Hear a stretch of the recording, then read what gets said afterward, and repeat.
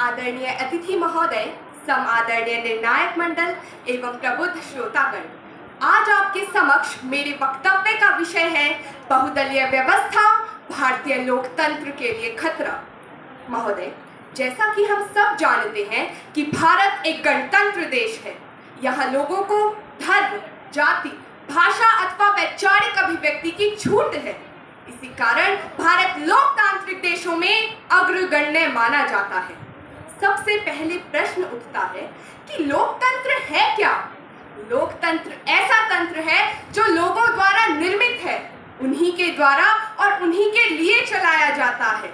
अर्थात जिसके केंद्र में और इर्द गिर्द भी केवल जनता है।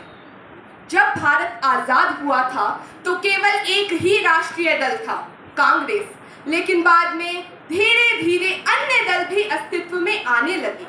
प्रिय साथियों लोकतांत्रिक प्रक्रिया में चुनाव में जिस भी दल को बहुमत प्राप्त होता है, वही केंद्र में अपनी सरकार बनाता है और शासन संभालता है।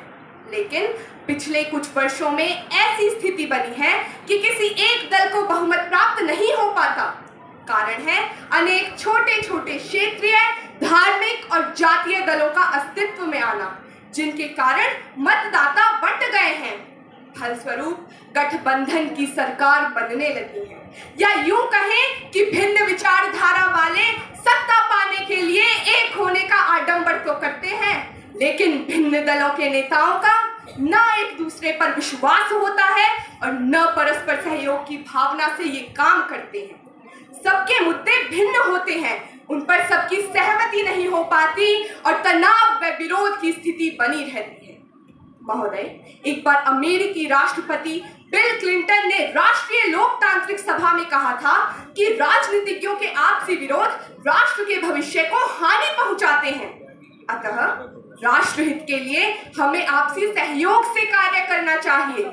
इस संदर्भ में उन्होंने यह भी कहा था कि भारतीय राजनीतिज्ञों को यह बात समझ नहीं आएगी। मान्यवर, यह केवल व्यंग्य नहीं है। अभी तो भारतीय राजनीति की सच्ची तस्वीर प्रस्तुत करता कथन है। अनेक दलों के सहयोग से बनी सरकार हमेशा अंतर विरोधों में ही घिरी रहती है। जब उसका स्वयं का अस्तित्व ही खतरे में है तो वह कैसे राष्ट्रीय लोकतंत्र की रक्षा कर पाएगी? उसकी आधी शक्ति तो अपनी सत्ता बचाए रखने में ही खर्च हो जाएगी और शेष पूरक दलों की मान मनौती और हितों की रक्षा में। मान्यवर गठबंधन की सरकार पर सदा यह दबाव रहता ही है कि वह साथी दलों से समझौता करे, वरना सरकार गिरने का भय। और यदि वह समझौता नहीं करती है तो सरकार ऐसे गिरती है, मानो मूल सहित उखड़ा पेड़। स्थिति पुनः चुनाव की। इसका भुगतान भी किसे भुगतना होगा महोदय? हम बेबस जनता को। चुनाव का करोड़ों का खर्च प्रत्यक्ष या अप्रत्यक्ष रूप से किससे उगाहा जाएगा? हम जनता से ही। किसी ने सही कहा है। अनैतिक दलों की अनैतिक राजनीति हो गई है। इनके हाथों से समाज की दुर्गति हो गई है। वक्त रहते जनता को जागना पड़ेगा। जनता को लूटना दलों की नीति हो गई है। दलों की नीति हो गई है। प्रबुद्ध श्रोतागण, देश जितना नक्शे पर बटा है, उससे अधिक भीतर से।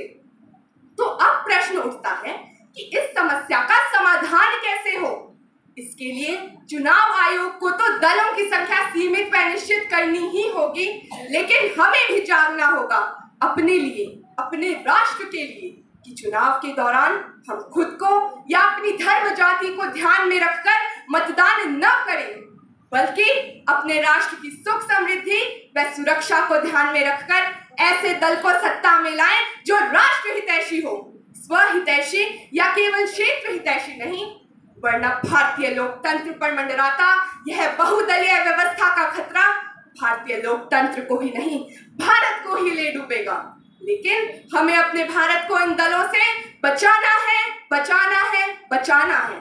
धन्यवाद। इतनी सुंदर प्रस्तुति के लिए तालियों की गड़गड़ाहट तो बनती है।